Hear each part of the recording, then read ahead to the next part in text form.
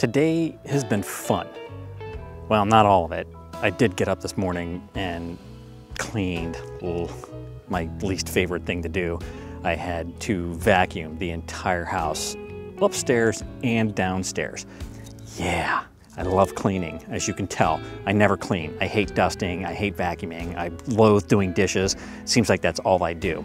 So after that debacle, I definitely needed to get outside. It, it is a nice sunny day, but it is not as warm as you would think that it is, and that kind of sucked. So obviously I went to the boardwalk and did some filming just so that I could say that I was outside, and I walked all over the place. Went and got some bean, dropped it off at the, at the library for my queen, and then I decided to come to one of my favorite spots to finish this video up. I wanted to just go outside and film. I am continuing to use and will continue to use fake S-Cinetone. I have done no custom white balances today, just sunshine when I was down on the boardwalk, and here I'm doing shade because I'm like surrounded by all these trees.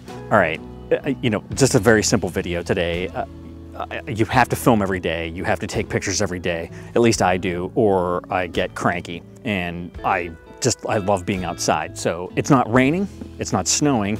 It's really not that windy at all here. A little bit down on the boardwalk, because it always is, but got to take advantage of that. So I'm taking advantage of that. I was supposed to get my new company laptop yesterday. It was supposed to be overnighted from Thursday and it showed that I was gonna get it.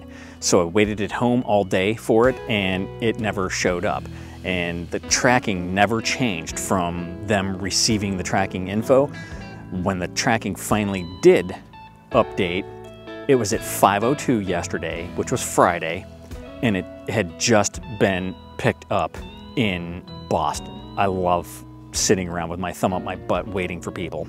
So I'm not getting my new company laptop until Monday, and then I'm gonna have to go through the rigmarole of having IT set up all the programs remotely that I need to get my job done. So that that's kind of where we are. I will take care of all that shit and, and do what I gotta do. But otherwise, that's it. So, um, and, and now there's people coming, so I'm just gonna wrap this up.